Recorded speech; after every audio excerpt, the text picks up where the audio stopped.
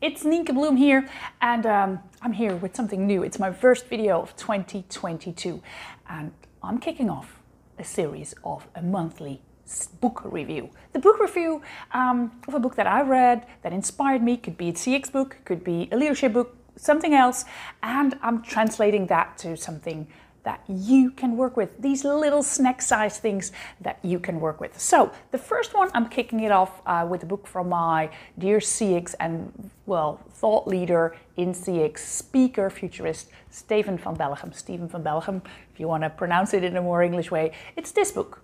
It is, and I have it here in front of me, but you see it in a mirror size. It's the CX Leader Manual to Customer Excellence. And I think it's a, an interesting book. We're talking about snack size. This is also a snack size book. He's got these, these little nuggets of information, these fun things, uh, and he has um, altered the book in two sections. First of all, it's the brilliant basics, part one, and part two is fantastic lessons from 10 top CX leaders. Well, he caught me a little bit off guard when I saw the book because it reads um, uh, uh, the CX Leader's Manual to Customer Excellence, Brilliant Basics and Luminous Lessons from 10 Top CX Leaders. And for me, a CX leader is a person. But looking at it from the perspective of uh, Steven, he has top 10 CX customer experience leaders as companies. So uh, yes, there are people in there, but I think it's great to read. Uh, you get this inspiration, and Steven always writes uh, as it it just comes to you, it, it, makes it vivid. So a compliment for him, but also good for you to get it. And um, looking at it, I have three insights I got out of it that I want to well share with you, and you can do your uh, uh, you have your benefits from it. The first one, what he does, he compares um, the seven habits of Covey to CX leadership. And what I like is begin with the end in mind. It's the beginning of the year. It's 2022. It's January. Uh, he describes it more from begin with the end in mind, uh, begin with the customer experience and work backwards um, in Apple. Uh, but I think here this is more. I like to see it from the perspective begin with the end in mind. What do you want to have accomplished at the end of 2022? Both from a leadership perspective as in CX results. I think it would be great if you can make that very smart um, and then work backwards. Yes, do that. It is so important. And see where in that journey do you maybe need some help? Do you need education? Do you need inspiration? Do you need budget? I don't know, but define that for yourself. Of course, if you need any education, you know where to go.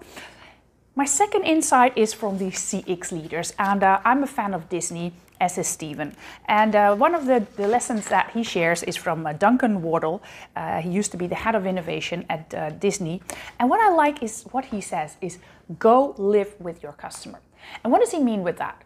Go be where your customer is. And yes, we know that. Once you're in a company, we know that it's very difficult to step in the shoes of your customer, to go outside in. It's this terminology that we use but it's often words.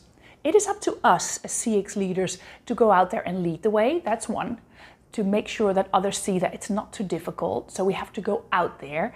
Um, don't forget, once you're out there with customers, that you talk about it, do the walk and the talk. But also get others to go out and live with the customer.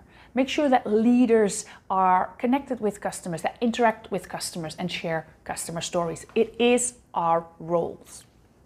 And the third insight I got, and this one is maybe a little bit more difficult, but I work a lot with uh, companies that are in commodity, whether it's bank, insurance, uh, maybe even government. Um, but it's and maybe more for the commercial side, but I think it's still impo- important. And he talks about the leadership lessons from Starbucks. Um, reinvent the commodity. And at the time that Starbucks started, they started with people were just buying beans, and they created this huge chain, um, thirty thousand. Uh, um, 33,000 cafes globally. It's incredible. And people pay amounts of money for a cup of coffee that we cannot think about something that if you do it rationally, we would not do that. But we do as people. And this is something that, especially when you read this little part of the book, lots of products and services are just downright boring. They're not interesting. What can you do to add, to spice that up, to spice customer experience up? Reinvent your commodity. Um, if it's boring, make it interesting again. So these are my three insights from this book. Begin with the end in mind. What do you want to have accomplished at the end of 2022? Two, go live with your customer as Disney inspires you to do. And three, reinvent the commodity. This was my first book review. And I am curious uh, if you read the book too, or if you're gonna read the book, please share your insight in the comments. And no, the good thing is in the show notes, the PDF link of this book is there. Go download it. I like those books to be here and I work with post-its to, to scroll my notes.